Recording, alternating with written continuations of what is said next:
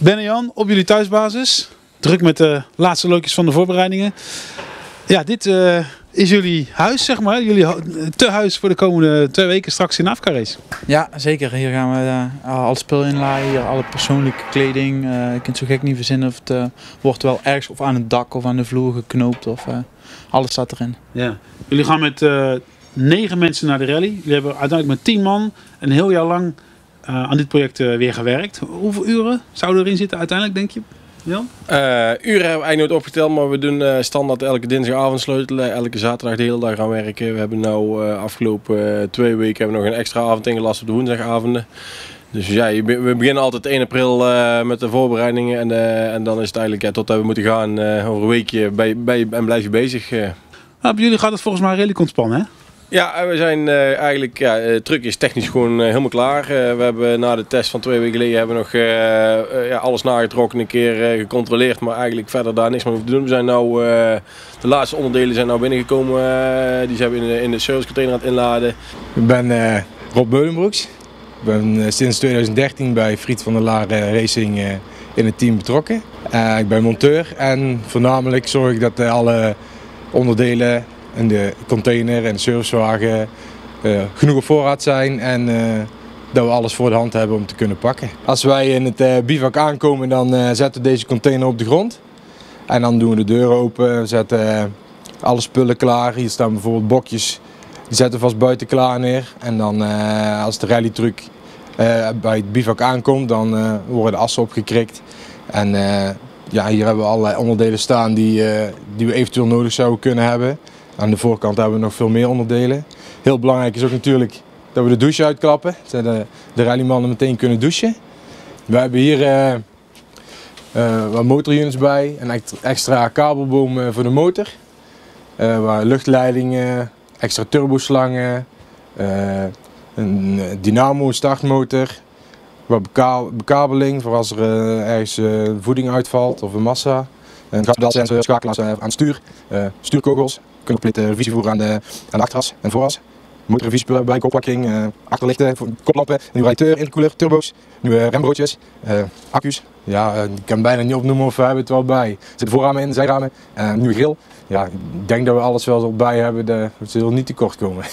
En hier komt uh, komende week nog het eten komt binnen. Dat wordt natuurlijk uh, zo laat mogelijk geleverd voor de houdbaarheidsdatum. En de kleding van de jongens moet hier nog in kratten ingelaaien worden. En dan zijn we eigenlijk start klaar. Dus het is uh, ja, echt de puntje op i aan het zetten zijn we momenteel mee bezig. Ik ben Frans Rijmakers. En ik ben dan chauffeur, monteur, servicewagen. Ik ben Dolf Huygens. Als monteur zijnde tussen Ben en Jan in en als, uh, als we stilvallen, waar we niet hopen, dan uh, probeer ik het voertuig weer rijden te maken dat we de rally voort kunnen doen. Ik ben Bart Huijs. Ik zit uh, drie jaar bij het team Friet van der Laar. Ik zit in de, in de service als monteur. Ik ben Simon, allround monteur. motor in de gaten houden, driveline, banden.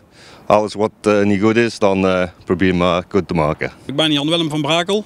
En ik zit in het assistentieteam om te zorgen dat uh, de auto rijden blijft.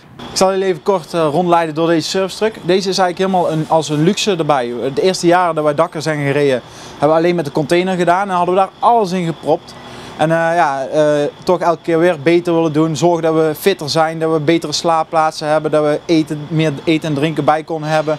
Omdat het allemaal wel continuïteit levert. En daardoor is eigenlijk deze vrachtwagen aangeschaft.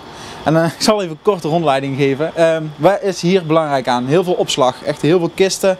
Ehm, daar zit kleding in, eten, ehm, al mijn navigatiespullen, al mijn stiften, alles reserve. Zeker dat we er niet op uh, langs pakken. hiervoor hebben we een stukje kantoor met een koelkast gemaakt. Hier eh, ligt ook eh, voor twee mensen slaapplaatsen en de koelkast vol drinken.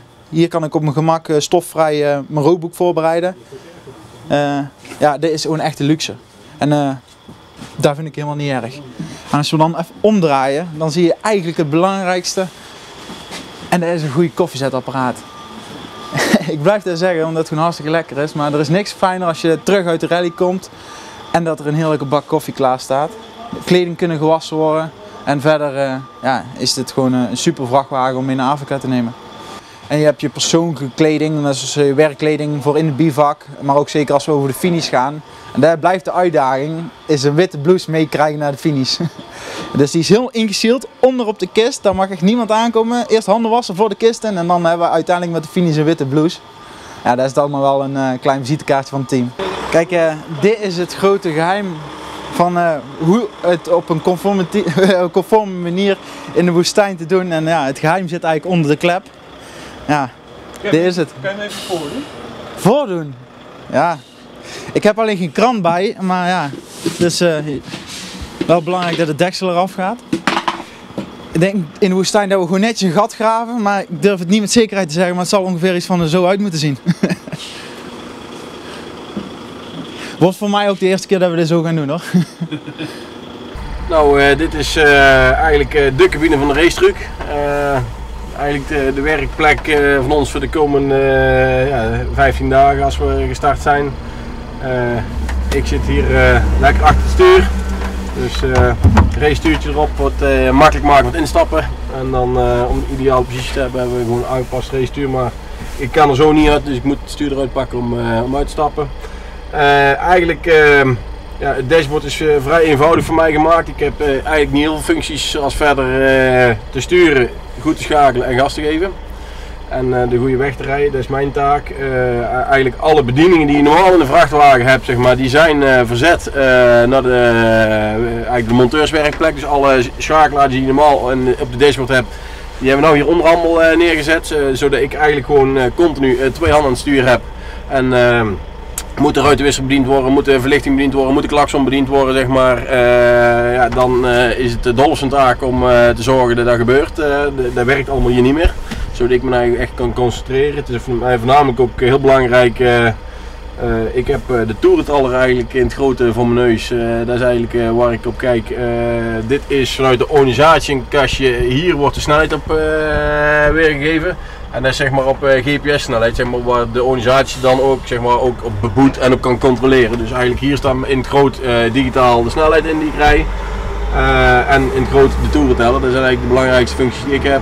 Dolph zelf heeft hier de kast zitten voor Teleflow. Dit is het bandenmanagement systeem. Dus hier kunnen wij vanuit de cabine bepalen de bandendruk. Dus uh, voor op de weg of in de gravel of in het zand zitten er al uh, programma's in voorgeprogrammeerd, vier stuks. Uiteindelijk kunnen we ook nog elke bandenspanning zelf uh, per band aanpassen. om het om het eigenlijk ja, zo goed mogelijk te kunnen verbrengen, het parcours. We hebben hier het kleine kastje nog zitten. Dit is onze snelheidsbegrenzer. Voor als we in de proef zitten, dan heb je snelheidszones 30, 50 en 150 zeg maar, is, is, de maximumsnelheid. Dus daar kan Dolph ook met één druk op de knop, kan hij hem in die stand zetten. Dan kan ik gas geven, kan ik schakelen wat ik wil. dan loopt hij niet harder dan 30. Dus zo komen we ook eigenlijk nooit in de gevarenzone met, voor de boetes en voor de overtredingen van de snelheid. Uiteindelijk krijg je een hoop straftijd waar je niks aan hebt en dat is zonde van het hard rijden. Um, ja, verder diesel overpompknoppen zitten er dus uiteindelijk. Maar, we hebben twee tanks bij. De rijtank en de reservetank. Uh, Dolph heeft alles hier boven op het digitale scherm staan. ja, alle dealtanks. dit is de rijtank, dit is de reservetank. Dolph kan in de gaten houden dat we eigenlijk proberen zoveel mogelijk alle tanken op de helft te houden voor de gewichtsverdeling. De rest, alle meters die je normaal ook in de vrachtwagen ziet zitten op het dashboard, uh, zijn er hier ook digitaal in verwerkt. We hebben natuurlijk wel een paar specifieke die we voor de race nodig hebben. Dus is turbo, uh, turbodruk, zeg maar. de buitenlucht is belangrijk om te weten, dus die hebben wij in een digitaal scherm laten bouwen. Dat we ook specifiek voor ons ontworpen, dit zo op Dolph wens. Om eigenlijk zo heel het auto zo te kunnen managen en beheren. Dat kan hij ook weer vanaf vier sturen met zijn knoppen om het eigenlijk ja, onder de, rij, de truc te houden. Uh, dit is een uh, bandenspanningssysteem uh, voor de controle. deze is van route 42. Die heeft speciaal voor de rally nou een ontwikkeling gemaakt om ook in de band te kunnen meten met de bandentemperatuur. Dus wij zien hier de temperatuur per band. En uiteindelijk de druk per band. Het is gewoon belangrijk om te weten dat wij onze banden zeg maar, nooit verder dan 100 graden krijgen. Dus echt het rubber eh, zeg maar, mag niet warm worden als 100 graden, maar ik kom echt wel in de gevarenzone dat hij hier eh, echt gewoon af kan klappen of eh, kapot springen. Dus dat is ook wat Dolf goed in de gaten houdt. Op het moment als de, of eigenlijk de druk in de band te hoog wordt met de temperatuur, dan gaan wij met het schommelen van oplaten, aflaten weer verse lucht in de band brengen zodat die afkoelt. Eh, en anders moet er gewoon eh, van het gas afgegaan worden. Want het, eh, je kunt gewoon met 140 km per uur niet verro- verrollen over dat je al weet van ik zit op de gevarenzone van de band en ik, ik rijd door en dan ja, is gewoon levensgevaarlijk. Hoeveel tijd ben je kwijt als je een band moet wisselen? Want dat kun je dat, dat, dat is ook een beetje oefenen. D- zeg maar, dat is afhankelijk van de positie waar je staat, maar een, goede bandenwissel zeggen wij is eh 10 minuten. En eh, ja, sta je ongelukkig eh, moet je al eh, met met extra blokken en je staat op een schuin stuk of op, we hebben het een keer gehad op een In de bergpasje. misschien als je keer Ja, afdraait. ja, dus dan is het, ja, dan, het is ongeveer een kwartiertje zeg maar, dan zou het duurt een minuut vijf langer om de auto eerst te stabiliseren. Ehm, het kan sneller, ik weet het bij de eh, heel veel trainen en die zitten momenteel tussen de 6 en de, en de 7 minuten Gerard met zijn crew, dus die, die zijn wel extreem geoefend daarin. Ehm, ja, dat is eh, voor ons eh, uiteindelijk eh, hoe sneller hoe beter, zo simpel is het ook, we doen ook mee in de wedstrijd, maar het is ja, voor ons iets minder van belang om die laatste twee minuten ook nog eruit te persen. Dat, Hoeveel banden heb je bij je? Twee reservebanden. Ja. Dus dat is ook de verplichting met de organisatie dat je twee reservebanden bij hebt voor in de wedstrijd.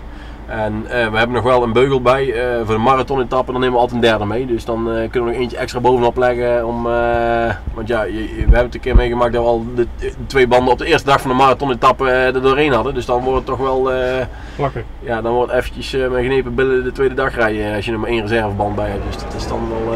Wat is jouw persoonlijke doelstelling voor de AFK Race? Wanneer ben je tevreden?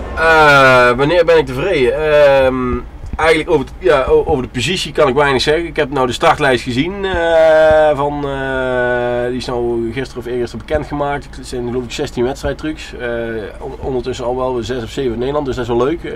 Mooi team. Vanuit Nederland vertrekken we richting de Afka-race. Ja, ik ken eigenlijk geen na of ja, weinig namen van die meerijden. Zeg maar, de Nederlanders ken ik, maar de anderen niet. Dus ik, ik, ja, ik kan er ook geen zinnig woord over zeggen of dat ik die aan zou kunnen. Maar uiteindelijk, ja, vijf of zes zou, zou ik wel eh, zeker. eh, ja, ze roepen hier al twee al van, ja, podium is mogelijk. Ah, nou, Gerard en Wuf, eh, nou, dat is, dat, is, dat, is, is logisch, 1 en 2 eh, ga ik vanuit als die niks meemaken. En dan heb je uiteindelijk nog die, ja, die dame, Jacinto, die is ook al ja, heel veel jaartjes aan het rally rijden. En die rijdt ook wel meer rallies per jaar. Dus die is ook gewoon veel meer ervaren als wij zijn. Dus die verwacht ik op de derde plaats. En dan probeer ik wel zo kort mogelijk achter te als doel. Maar voornamelijk eh, plezier maken in zand. De zandetappes, eh, daar, daar zijn we zelf alle drie goed in. Dat doe ik zelf ook echt het liefste.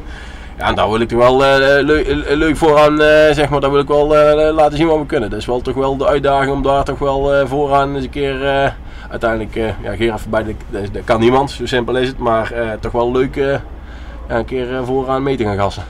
Nog even een klein beetje genieten van de kerst. Ook eh, ja, met, het, met het thuisfront. En dan eh, net na de kerst eh, vertrekken jullie? Tweede kerstdag? Derde kerstdag? Derde kerstdag. ja. 27e, Ja, dan eh, rijden we s'morgens aan en dan eh, hebben we wel eh, gewoon gezegd van we stoppen halverwege Frankrijk, eh, even een hotelletje en dan slapen we. Het is op zich ja, maar 1100 kilometer, dus we zouden makkelijk in één keer kunnen rijden. Maar we hebben tijd voldoende, we hoeven pas de 30ste te keuren. Dus we, we hebben gewoon een dag over, dus dan op ons gemak naar Frankrijk toe. En dan eh, gewoon lekker ontspannen, voorbereiden voor de rally. En dan komen we ook lekker huisgerust aan. Dus dan eh, moet dat goed komen. Succes met de laatste loodjes en eh, tot in Monaco. Ja, zeker. Dankjewel. Ik hoop dat Jan een beetje gas geeft, dat je mee in het podium rijdt. Dan komt het helemaal goed. En eh, dan wou ik het eigenlijk belaten als het kan. Stop maar. Zat hè?